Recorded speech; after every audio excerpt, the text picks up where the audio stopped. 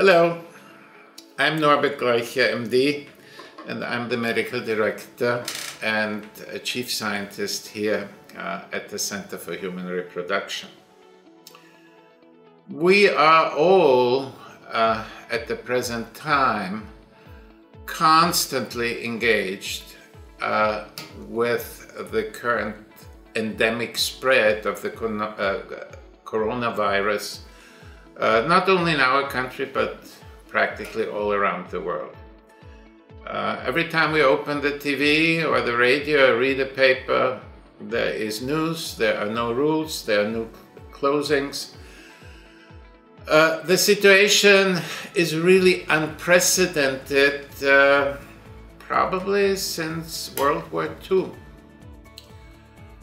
Uh, we will not repeat here what you can read uh, in newspapers or what you can hear through the media in general. I think by now everybody knows the general precaution that every single individual should take to minimize their chances of being exposed to the virus, which is quite contagious. What I want to address with you today is what happens here at the Center for Human Reproduction. Because like in every other sphere of life, we obviously had to change how we conduct ourselves, how we deal uh, with our own employees, and of course, most importantly, how we deal with our international patients. Since over half of our patients come to us from long distances. Our problems are probably a little different from most other IVF centers, which primarily deal with only a local patient population. And we will talk uh, about the specific issues that relate to long distance patients in a separate video. What I want to address here today is the changes that we have made in our daily routine here at the Center for Human Reproduction in our daily practice.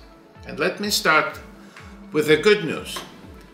The good news is that in principle, nothing has changed in what you can do at CHR and what we are doing in CHR. In other words, we still start new treatment cycles, we still monitor patients, we still do egg retrievals, we still do embryo transfers. Nothing has changed. The same people are involved in all of these uh, services as before. That means the same nursing staff, we call them here clinical coordinators, the same physicians, me included, the same embryologists, and the same administrative staff. But that doesn't mean that things are the same. They by no means are the same. First of all, we have very new and very stringent rules for our staff. Nobody comes into the house who has a temperature.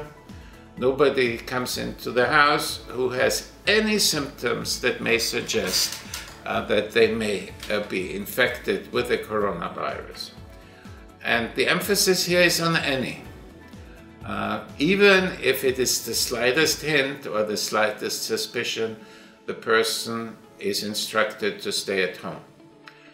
Uh, and for the time being, that means that that person uh, will be uh, at home until we can be absolutely certain uh, that uh, she or he is not infected with the virus.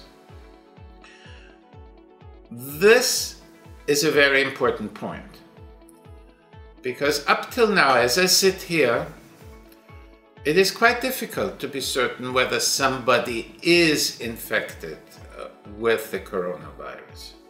And the reason is that we don't have a test.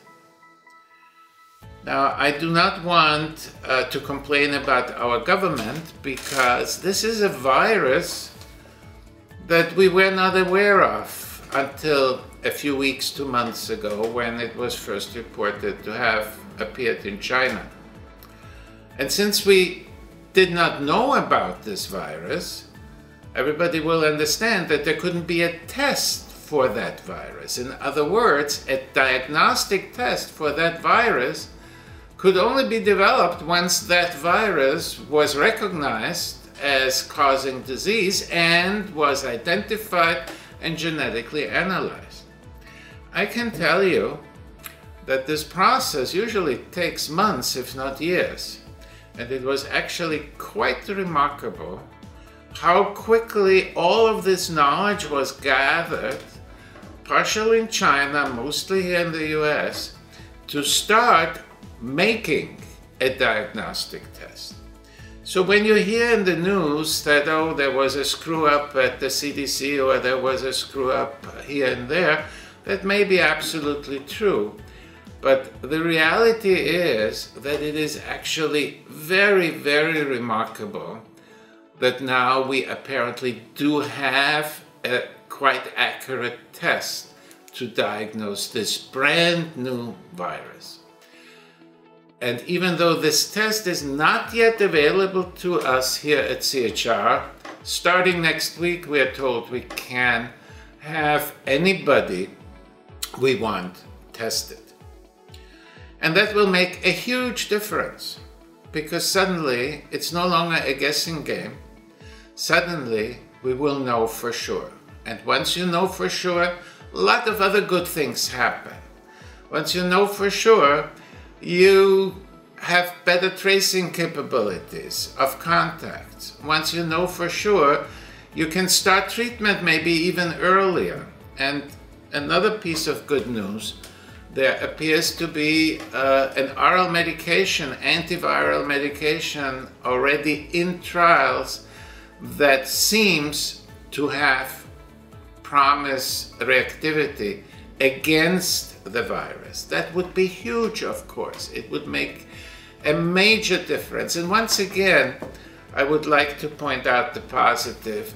Think about how quickly we are in trial after this new virus suddenly was discovered. It is really remarkable how quickly the scientific community worldwide uh, has been moving in fighting uh, this obviously uh, quite difficult to contain uh, new virus. So I have talked to you about our staff so far and we need to be ready that some of our staff members will simply not be available. And that could represent a problem. We hope it will not. Uh, we hope that our staff members will, uh, will remain healthy. But as I said, if there is a suspicion, they will not be allowed to continue their work here. In the meantime, we are doing everything in our power to protect them and therefore also all of our patients. And here is what has changed in the last few days uh, because changes have been happening every single day over the last week or two. First of all, we are trying to minimize the in-house patient activity. In our field, there are a lot of things that do not have to be done face to face. We can obtain a medical history, we can manage uh, IVF cycles, we can give advice, uh, we can do a lot of things over the phone or via Skype.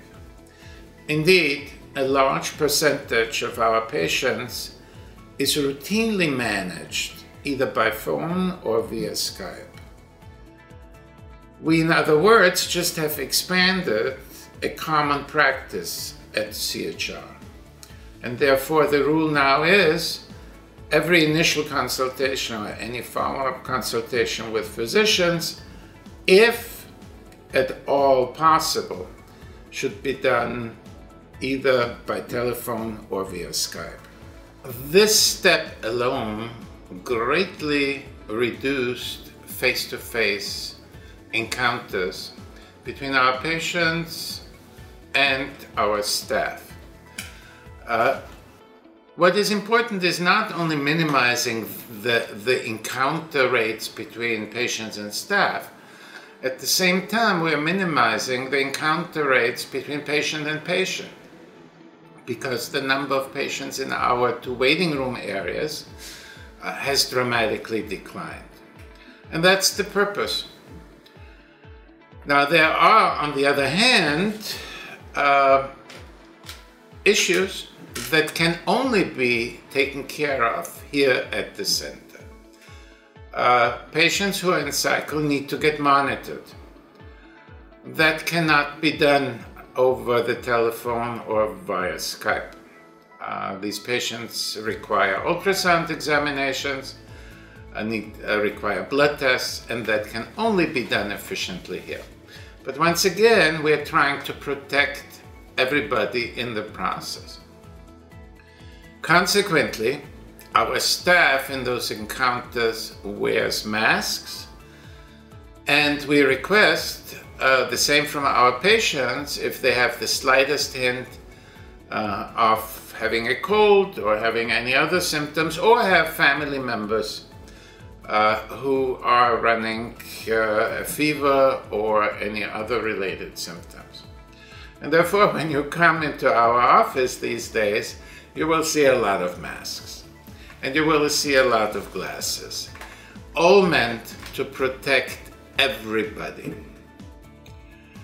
So this is a difficult time. This is a time uh, of some fear, understandable fear. But at the same time, it is also a time that is challenging to us as physicians and healthcare providers. CHR serves a very unique patient population. We are not the infertility center for the 25 year old who has obstructed fallopian tubes or for the young couple where the male has a major sperm problem. Those patients usually do not come to CHR. The patients who come to CHR are women and men who usually have been trying for quite a long time. They often, I would say usually, older. Our center serves the oldest patient population of all 500 plus IVF centers here in the US and probably worldwide. And these patients have very little time. Many times, months count, not years. And therefore, these patients, these couples, very frequently feel that they simply cannot afford to lose two months or three months or four months or God knows how long uh, this current situation will uh, last. We here at CHR, because our patient population is so different, therefore feel a very strong obligation to continue serving. It would be very easy to say, okay, let's close for a month. But if we close for a month, the effect on our patient population would be very different than at most other fertility centers.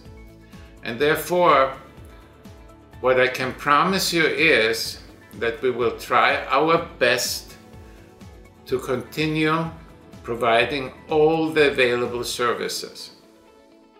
Nobody can predict what will happen tomorrow, but with your help and with your cooperation, I'm optimistic that we will live through this difficult time period and will be able to continue providing you, our patients, and whoever else is seeking health in these difficult days with the necessary services.